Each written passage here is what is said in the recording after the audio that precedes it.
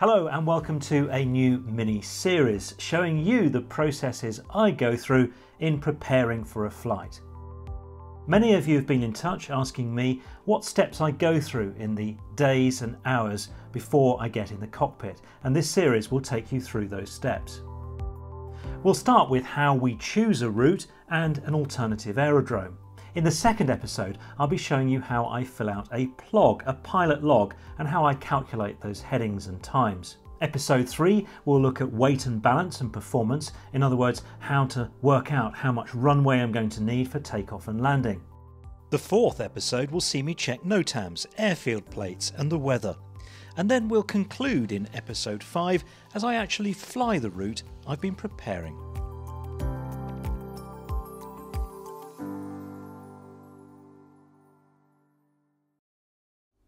Now, the first thing I usually do when thinking about going flying is I'll open up my iPad, I'll switch on SkyDemon, and let's say, for example, I want to go to Sherburn in Elmet.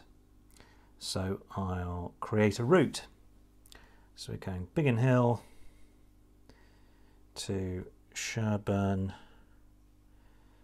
in Elmet. This is a flight that I'm hoping to do next week. Now, when we do that, of course, all it's going to do is create a straight line that goes all the way from Biggin Hill to Sherburn in Elmet. It'll take me through all the danger areas, the parachute drop zones, the military zones and the controlled airspace. And of course, that's probably a route that I won't be able to fly. So the next thing I do is I start tweaking it. Now, I know that I'm going to need to go east in this instance um, because I'm, I can see that my route wants to take me through the city zone and the best way to get there really is to go east, northeasterly. So I'll just change my route here slightly. I'll go out to Alkin and then Baker, the instrument waypoints.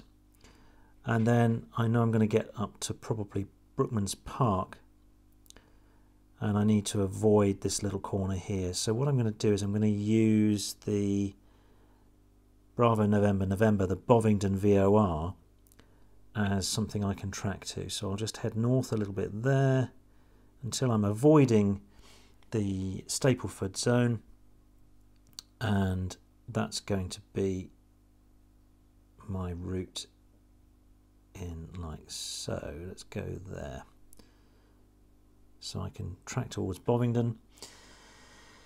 Now, I, I know for a fact that Luton would prefer me to go overhead the aerodrome rather than um, flying over the extended centre line here, or the approach course. Um, I'm more likely to get a clearance if I go overhead, so I'm going to change the course there. And then I'm going to have another look at the route now and see what I'm going to do. Now I've got a gliding site there, so I'm going to go to the left of that. also got a danger area there. I'm going to go over Cranfield. Um, let's see where that now takes me. Just having a look here. Now that takes me over a drop zone there. There's a parachute drop zone. So we can't do that because we can't fly over a parachute drop zone. So what I'm going to do now is I'm going to take us left over Northampton then left over Leicester, and now we're into the East Midlands control area, East Midlands CTA. And again, we've got the same problem here where they might let us go that way because they're not as busy as Luton, but they're more likely to give us a clearance if we go overhead. So we'll pop up, pop overhead East Midlands and then head up here northwards and in theory I think that will probably take us right there. So there we go. I've got my route now uh, planned on here. I'll obviously play with that for some time. I will um, look at it in more detail. I'll try and optimize it. I will then go to my old-fashioned map here and I will draw that route on my CAA chart exactly as it is on my iPad map. The lines are exactly the same, taking us through Luton there, look, and up towards Northampton. Then I'll flip over the page And as you can see, it then goes up through Leicester, East Midlands, and up towards Sherburn. So as you can see, I've chosen a route that's avoided danger area, restricted zones, parachute drop zones, and gliding sites. I also try to avoid areas of intense aerial activity if I can, and I'm looking for a route which is going to be as straightforward as, as I can find it, really, taking advantage of really good visual reference points. So, obvious points along the route, aerodromes are good, of course, um, wind farms are good, um, big towns are easy to spot, big motorway junctions are easy to spot. That's from a VFR perspective. Uh, from an IFR perspective, I'm looking for things that I can program into my uh, GPS, my uh, GNS 430. I'm also looking for backup navigation aids, VORs and NDBs and so on. So that's how I will choose a route. It's, it's a combination of all of, those, all of those things. At the moment, I don't know if this is going to be an IFR or a VFR route, but it has been planned such that it could be flown either. Now, one thing that I do do uh, on my paper chart is I annotate the chart with certain bits of information which I know are going to be useful to me. For example, right here you can see I've marked some uh, numbers and letters here and they correspond to these two points on the map. Now these two points on the map are where a section of the East Midlands CTA drops to 1500 feet.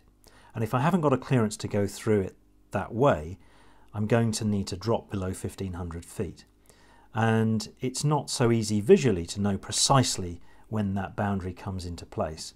So here I've marked two distances. I've marked the distance from Leicester and the distance from Nottingham.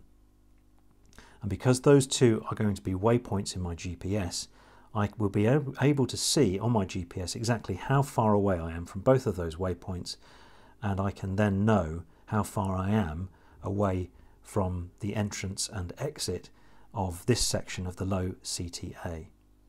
Also on my map, I usually show climb and descent points if I can um, to remind me because you can see here that the map is quite complicated around Luton. I'll have a lot going on and I just mark here, for example, C32. That means I'm intending there, if I can, to climb to altitude 3,200 feet, and I know I'll be able to do that safely without going into any uh, restricted or controlled airspace. What I've also done on here is that I have drawn an alternative route in the event that I don't get clearance through controlled airspace. It's 50-50 really whether I'm going to be allowed through uh, Luton and East Midlands. Uh, we don't know what the situation is going to be on a day. It's harder for them to let me through if I'm IFR. I may need to go around it. So my route obviously takes me up to Brookman's Park VOR here, and then I've got a choice. I can either go through the Luton um, CTR if they will clear me through, or I can go up here in this gap of uh, Class G airspace between Luton and Stansted. And I know I can do that quite easily by tracking out on the Brookman's Park VOR, and then when I'm at this point here, uh, just to the northeast of Stevenage, I can make a westerly turn direct to Cranfield. So I know I'll be able to do that really easily and then I'm back on the route that I'd originally planned. So if I've got a route that takes me around a bit of controlled airspace, I try to make it as simple and easy as possible so that I can follow that uh, alternative route and then get back on track as soon as I can. Now I know that Sherburn in Elmet is not an aerodrome that has an instrument approach. So when I'm planning this route, I'm going to be thinking about whether I'm going to be in IFR or not. And um, what's quite good about uh, this is that Leeds Bradford is just, uh, well, how far away are you? 20 miles? 16 miles to the northwest of Sherburn in Elmet, and Leeds Bradford has um, an instrument approach procedure that I know I can follow. When thinking about an alternative, I suppose you're thinking about how far away the alternative is and what your fuel state is likely to be when you uh, get there. Um, but you're also looking at weather phenomenon as well.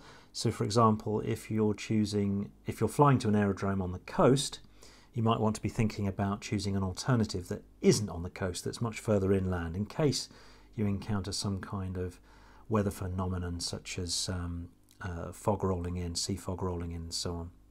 Um, but Leeds Bradford will probably do us quite well in terms of a primary alternative. Um, Doncaster Sheffield is an alternative as well. In terms of other smaller aerodromes, if Sherburn in Elmet is uh, blocked because of something on the runway, I suppose I could go to Leeds East, which is just uh, three miles to the north.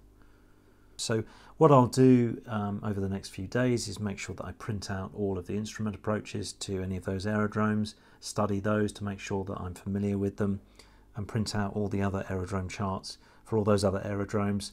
Probably check their websites to make sure that they will accept GA, they will accept me in an emergency. So that's pretty much how I get started planning a route. I would normally do this a couple of days beforehand, start thinking about it, over the course of the then coming days, I will start refining the plan. And then as we get to the, say, the night before, I will have finalised my route um, that I have in my head. And I might even sit on the sofa looking at the map, um, just, just flying through it, thinking about the airspace en route, thinking about the rises and falls of controlled airspace, so that I've got some kind of imprint in my memory of what that route's going to look like when it comes to actually flying it. So that's how we get started on choosing our route and the aerodromes that we might divert to. Coming up in episode 2, we'll fill out the plog. This is the pilot log that sits on my kneeboard in the aeroplane, carrying all my headings, distances, and times.